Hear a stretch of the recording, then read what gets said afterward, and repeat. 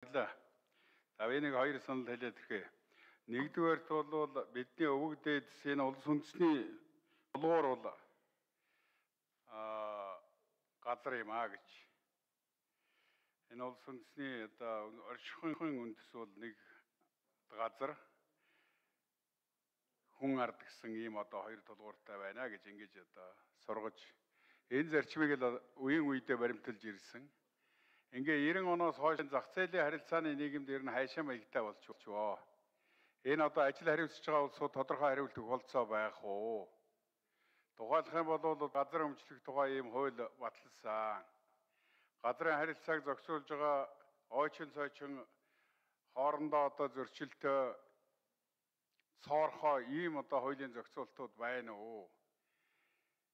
Зүгээр улс орны сая 100 хавтгай дөрвөлжин км нутгийг нутгийн одоо хил энэ хоёр том хөрштэй бид нар чинь айл хөрш оршиж байгаа шүү дээ. Хилийн бодлоо малгаан бол байхгүй.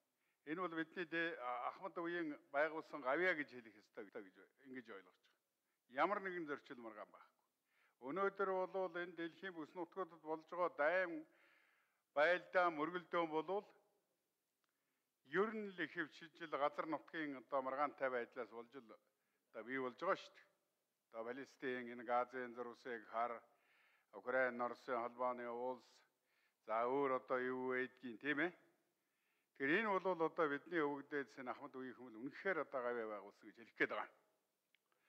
А гэтэл бол одоо энэ дотооддоо улсныхоо дотор энэ бид нар энэ үеийн үедээ улсын үндэс газар гэж одоо бодлого баримталж ирсэн энэ хүнүү их гүрний 2000 гаруй жилийн одоо түүхэнд хүнүү их гүрнээс хойш л үеийн үедээ нэг барьж ирсэн байна шүү дээ. Гэтэл одоо энэ ашиг харилцаа хөвсөн энэ зах зээлийн харилцааны нийгэм шилжээд ерөөсө 30 жилийн хооронд ер нь хайшаа болгоод байна. Энэ одоо тодорхой хариулт өгөх юм болцоо байх уу? Нэг хариулт авмаар байна. А энэ гişүүдийнхээ одоо санаачилж байгаа хуулийн төслийг бол зарчмын хувьд дэмжиж байгаамаа. Энийний цаа талд одоо газар бэлчээрийг эзэн суудсан, хашаажуулсан ийм буруу чиглэлийн сөрөг үр дагавар юм хум гарах уугүй юу? Тэрийг нь та нэгтүүд маань тооцож байгаа зүйл байна уу? 2012-оос 16 онд энэ бэлчээрийн тухай хуулинд өөрчлөлт оруулна гэдэг нэг том асуудал одоо босч ирсэн шүү дээ. Тэгээд тухайн үед бол томоохон эрдэмтэд иргэний нийгмийн төлөөлөл мэрэгжлийн хүмүүсийг оруулж агаад за бүр одоо өвөр Монголын өөртөө сасах орноос яг энэ чиглэлээр одоо олон 10 жил судалгаа хийсэн ийм профессор эрдэмтдийг урьж оруулж байгаад төрийн ордон томоохон хилцүүлэг юм хийсэн. Өвөр Монголын одоо эрдэмтдийн тавьж байгаа асуудал бол хашаажуулж хэрхэвч болохгүй шүү. Энэ газрыг одоо бүр ингэж хөдөлгөөнгүй эзэмшүүлнэ гэдэг бол энэ нүүдлийн ахуй соёл энэ улс үндэстний чинь одоо дархлаа баталгаа болсон энэ ахуй соёлын чинь бол тэр чигт нь одоо үгүй болгон шүү.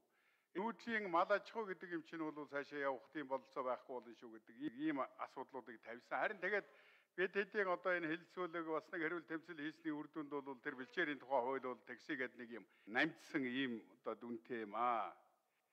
За ингээд бол би та нөхдүүд маань энэ манай Хинтээ аймгийн одоо Цэнхэр мандал зэрэг сумдад бол а нэг 50-аас 100 га газарт нэг баг нийлээд багийн өрхүүд одоо ногоон тэжээлээ тэрэ таваагаад авчиж байна. Ийм сайн жишгүүдийг та нөхдүүд судалж байгаа юм зүйл байна уу? За нэг минутаа би үргэлжлүүлээд авал сайн байна. Дарга. За.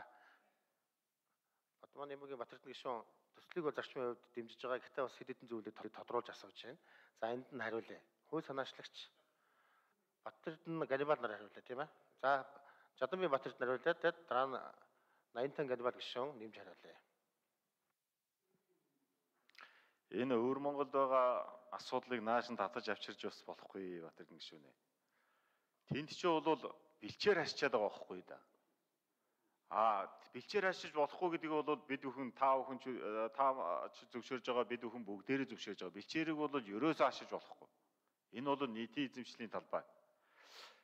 А энэ хашна гэдэг ойлголт бол зөв хэдүүлээ ярихгүй бол бас буруу тишээ ингээ халбичих гээд байгаа. Энэ одоо жишээ нь бид нар нэг таван малаа үүж аваржан дээр бол хашиж байгаа шүү дээ. Энэ хашаатай адилхан энэ хашаагаа цааш нь үргэлжлүүлээд нэг гадна үргэлжлүүлчихнэ гэсэн ойлголтоор бид нар ярьж байхгүй бол ерөөсөө тэр үжи аваржааныхаа хавийг л ташаа ичих юм шиг нэг ийм ойлголт малчтын дунд яваад байгаа маа. Энийг би одоо чинь уулзалт хийх үедээ бол хилээ яр энд одоо тэр малчтын бэлчээрийн чинь хаших асуудал яригдаг, огч яригдаагүй шүү. Зөвхөн өвлжээ хаваржааны газарт та бүхний одоо хэрглэж байгаа, ашиглаж байгаа, төрөөс олгоцсон ашиглаж байгаа энэ газарт чинь тодорхой хэмжээгээр ашиглаж байгаа газрыг чинь нэмэгдүүлээ. А тэгээд тэндээ бол мэдээж малаа хашиж байгаатай адилхан одоо жимс ногоо тэгээд терминал ургамал тариасан бол мал нь ороод ичихгүй тул нэг хаших асуудал бол гарч л таараа шүү дээ. Тэр бол нэг гааг бол хашил таараа мэдээж терминал ургамал тарьсан юм бол хаших асуудал байгаа баг. Тэгэхээр энэ бол ерөөсөө бусад газар одоо чинь ханга бүсийн асуудлаар болоод ингээд тариа тариад явж байгаа юм бол туршлага амьдрал дээр бол байгаад байгаа.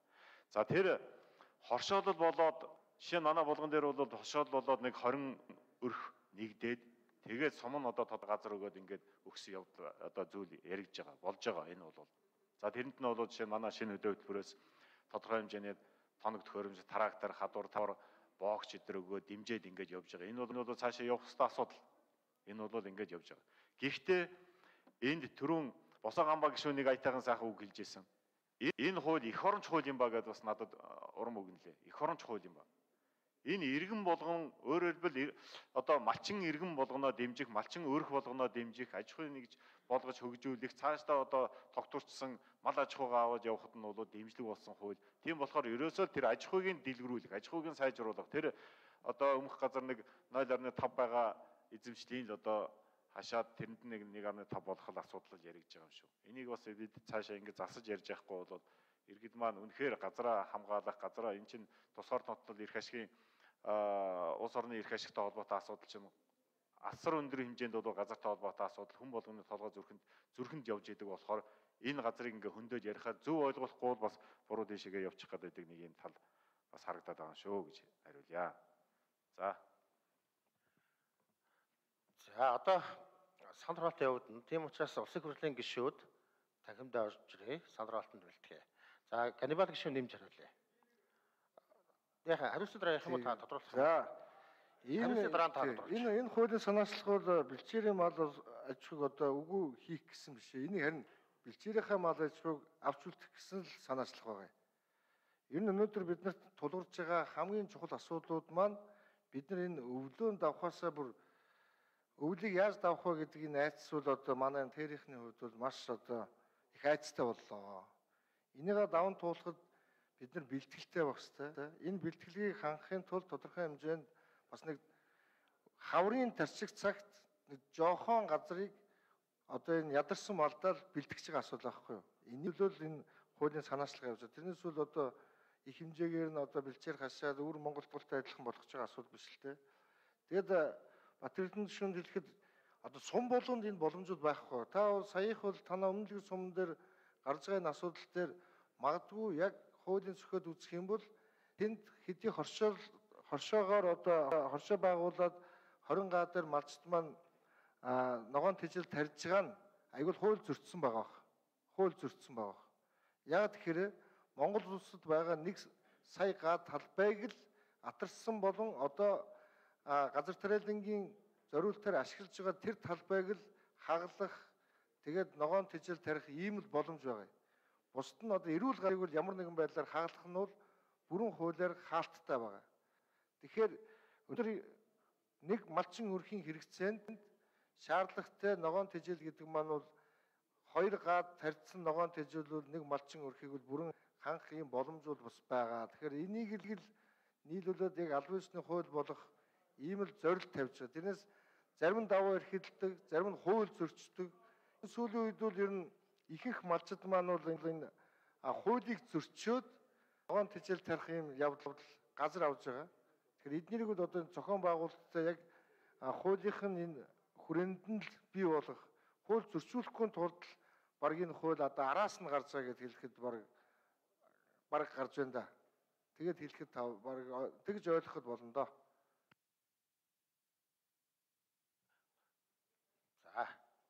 Батэрдэн гишүүн тодруулахаас өмнө зочдоо танилцаалчаа. Тэгээд Батэрдэн гишүүн тодруулж асуунаа. Улсын хурлын гишүүн Төсвийн байнгын орон дарга ганцэргийн үйлэнгийн урилгаар Аранга аймгийн Тариатай чулууд сумдын иргэдийн төлөөлөл улсын хурлын үйл ажиллагаа төрийн ордонтой танилцж байна. Та бүхэнд улсын хурлын гишүүн гишүүдийн нэрийн өмнөөс ажил хөдөлмөрт өндөр амжилт, сайн сайхан бүгдийн дээдийг хүсэн өрөөе.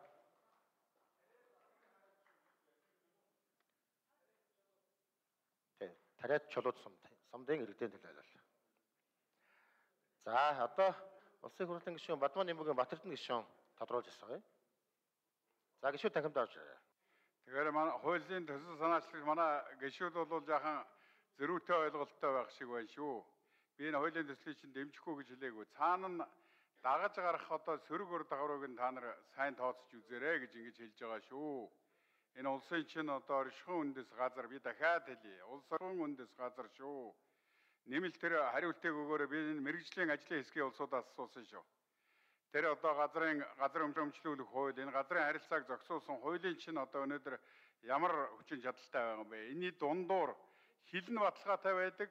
Энэ улс орны чинь дотроосоо одоо энэ хууль эрхцэн орчин газар хөзөр өмчлүүлэх, эзэмшүүлэх энэ юмд чинь одоо аюулгүй байдал тусгаар тогтнолын чинь асуудал алдагдахаар ийм төвшөнд хүрч байгаа биш үү? Энэ дээр тодорхой хариулт өгөөч гэж.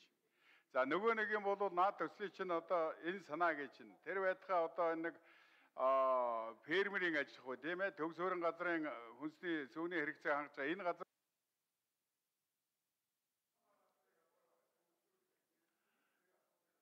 За. Бадман нэмгийн Батэрдэн гишүүн бол яг энэ тухайн хуулийн төслийг бол дэмжиж байгаа хэлсэн шүү дээ. Гэхдээ энэ дээр одоо ийм анхаарах зүйлүүд байна. Хамтад нь бас та нар зохицоор нь бодож байгаа юу гэсэн ийм асуудлуудыг тавьж байгаа. Энэ дээр нь ажлын хэсгээс хариулчихъя. За. За ажлын хэсэг хэдүүр микрофон? 83 дугаар микрофоныг өгье. За асуултанд нэр албан шалгаа хэлээд хариулаарай. барилга улсын яамны хөгжлийн бодлого газрын харилцаа бодлогын газрын дарга Батуулд Батэрдэн гишүүний асуултанд хариулъя. Бид хүн газрын тухай хуулиараа одоо бол шинжилсэн найруулгыг бол өргөн бариад бол яв- бэлдээд бол явж байгаа.